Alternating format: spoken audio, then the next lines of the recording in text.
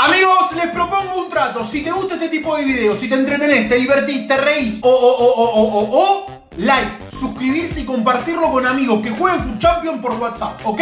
Tenemos un trato, ajustate el cinturón porque comienza el resumen de Food Champion. Aquí están, estos son los 11 gladiadores con los que iba a salir a cagarme la vida. El primer equipo, este. Pero iba a ser todo mucho más fácil de lo que uno imaginaba al comienzo porque el partido se iba a poner rápido en ventaja con un 2 a 0 al minuto 76 metíamos el 3 a 0 y el rival se iba a comer el cuartirolo. El Kun le encontraba y sentenciamos la primera victoria. Estadísticas ahí. El segundo rival muy prolijo, muy buenos jugadores, pero manejaba el arquero como el verdadero orto. Fíjense cómo me deja el primer palo libre y se la meto para el segundo. Pero como dije, jugaba bien, tenía un toqueteo interesante, pero volvía a pifiar. ¿Qué haces acá, pibe? Decime qué haces acá, pibe. ¿Cómo vas a poner el arquero atrás de la barrera? ¿Sos boludo o jugás Minecraft? ¡No lo puedo creer! El tercer partido lo gané 3 a 0, pero el archivo estaba dañado. Tocaba enfrentar el cuarto equipo, pero nos íbamos a poner rápido en ventaja con una muy linda jugada y un tiro bananero de Kevincito de Brum. Pero el rival me iba a empatar rápido, pero esto no iba a terminar así,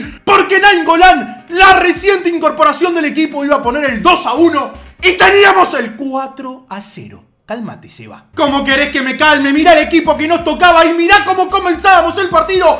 3 a 1 abajo, logramos descontar al minuto 50 y miren esta linda jugada. Paciencia, toqueteo, nos gusta el toque, toque. Jugamos con los 11, paré, paré, paré, me construí un duplex. Con Hazard logro empatar al minuto 61 y esto no era todo. ¿Por qué? Porque ya ganando 4 a 3, miren el señor gol que hago. Miren el señor gol que hago. Ya tenía el 5 a 0. Ya estaba en pelotas, chicos. Ya estaba en pelotas. Con la moral por el cielo. El 5 a 0 era nuestro. Amigos, teníamos el 5 a 0. Nadie nos lo podía sacar. Nos sentíamos Dios. Y cada vez que te sentís Dios, viene alguien, te mete un bife a mano abierta y te hace caer en la realidad. Miren eso time finish. Miren eso time finish. Primero uno, después el otro. ¿Lo querés más cerca el plano? ¡Míralo! ¡Es increíble! ¿Quién mierda inventó este tiro del orto? Díganme quién lo inventó. Por favor, porque me generó la primera derrota. ¿Alguien me podría decir quién fue el HDP que inventó ese tiro de dibujito animado? El siguiente partido ganamos y subamos el sexto triunfo. Siguiente partido, tanda de penales. Atajé y gané. Sumábamos el séptimo. El partido número 9 iba a ser contra este verdadero equipazo. Pero iba a ser derrota en penales, chicos sumábamos la segunda derrota del Foot Champion. Estaba Kenchi. Esa misma calentura me hizo enfrentar a este rival muy concentrado porque necesitábamos la victoria número 8 frente a un rival que fue durísimo, pero metí un gol de Pro Evolution Soccer y se la mandé a guardar. El partido terminó 1 a 0 para mí y sumábamos el triunfo número 8. Salíamos a cancha frente a este verdadero equipazo que se sentó en el Pinocho en 40 minutos, tiró del cable y teníamos la victoria número 9. ¿Y qué pasó con la victoria número 10? Ganamos, es verdad, pero el archivo del partido no lo encontramos. Moralmente veníamos de puta madre y tocaba enfrentar a este rival, pero miren la cantidad de cagadas que me voy a mandar. Se aproxima Navidad, Sebastián se viste de Papá Noel y empieza a regalar goles.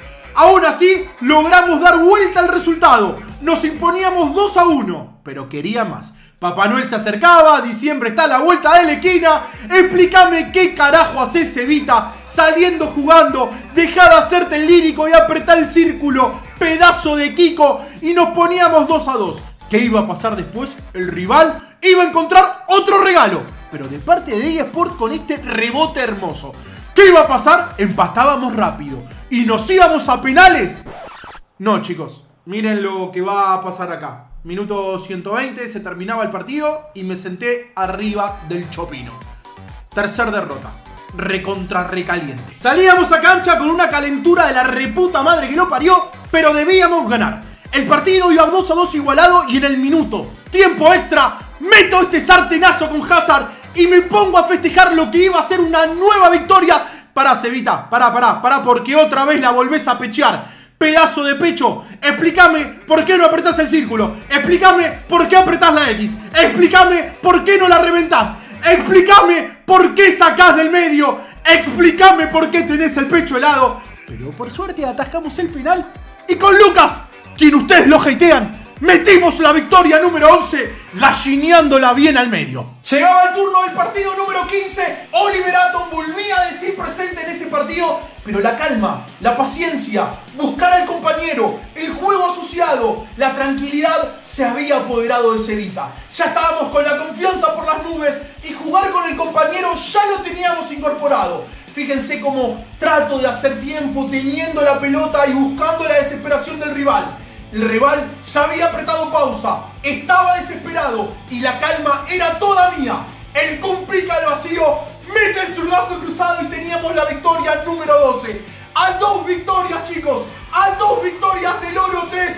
Ya faltaban muchos partidos y el Oro 1 ya comenzaba a ser una realidad porque se asomaba en el horizonte. El domingo finalizamos en Twitch ganando un partido y perdiendo otro y también quedándome bastante caliente. Caliente porque se me negaba la victoria 14 y salíamos a cancha en busca del oro 3. Arrancábamos el partido ganando con un bananazo de Kevincito de Brun frente a un rival rápido, picante, que no perdonaba y donde la suerte en este partido principalmente lo ayudó.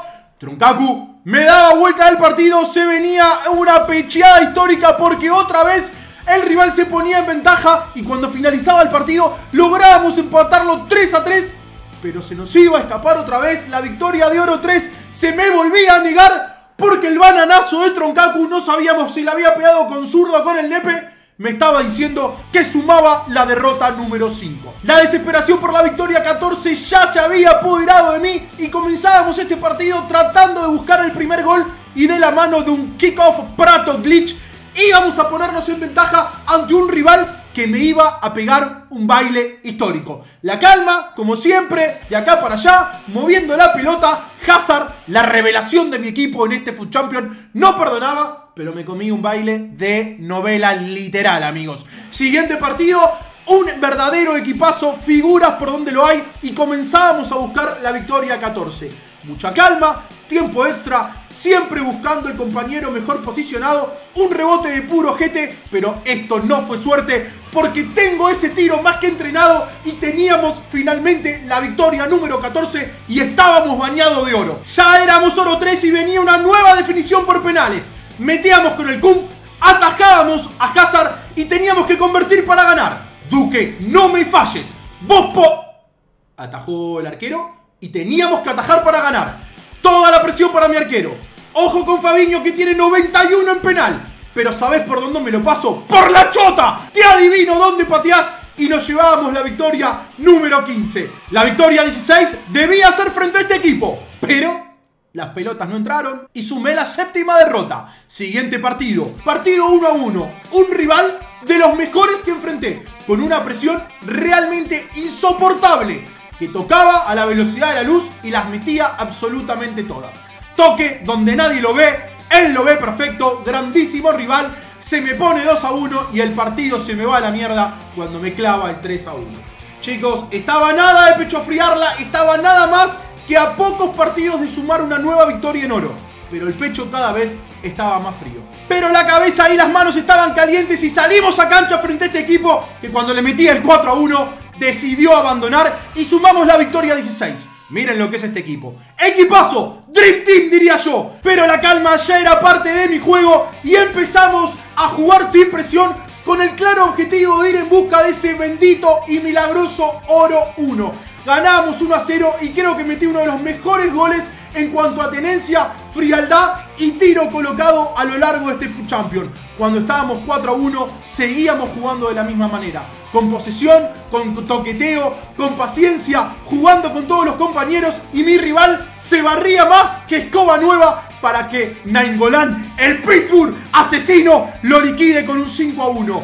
Victoria 17, vení, te estábamos esperando. Acá hubo baile, señores. Ya teníamos el oro 2 adentro. Restaban 5 partidos y necesitábamos ganar 3 de esos 5 para poder llevar el oro 1. El sueño estaba a nada. El partido comenzaba de esta forma y cuando uno mete un gol con un lateral, el pecho se le infla, el corazón se le calienta, porque ya estábamos 3 a 1 y la victoria 18 era nuestra. ¿Quién me la iba a sacar? ¿Quién me iba a decir que no podía soñar? Si cuando le metimos el 4 a 1, el gallina, el que tenía el escudo del Tottenham, apretó la pausa y abandonó. ¿Cómo no voy a soñar? ¿Cómo no voy a tener hambre si estos pibes estaban buscando la vida? Si éramos una máquina de ganar, gustar y golear. Nos quedaban partidos. Estábamos a 2 de oro 1 y hacemos esta jugada. El Duque, la figura, le empuja la línea y nos ponemos 2 a 1. El equipo seguía. Metíamos bombazo del Kun Agüero y nos poníamos 3 a 1.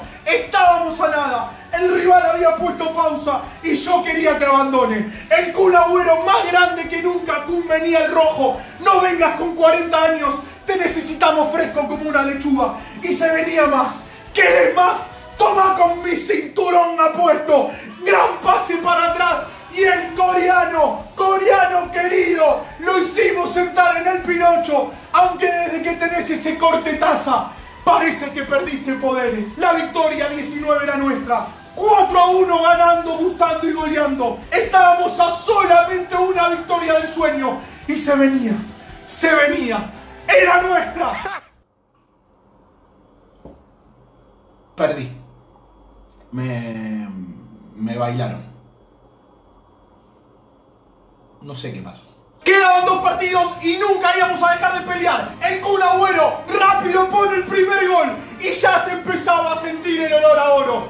El oro 1 iba a ser nuestro, chicos, porque el rival defendía peor que cualquier equipo malo. Estaba loco y se venía el 3 a 0. Se venía desborde Duque. Pasa por la punta y lastime. Lucas meta el tercero para que el rival abandone. Éramos oro 1. Nadie nos iba a poder quitar porque la rata inmunda de mi rival abandonó, se fue y éramos oro 1 y llegábamos después de nuestro segundo Food Champion. Se vienen recompensas de oro 1 y de top 100. Estén muy atentos. Gracias infectado por esta enfermedad llamada Food Champion.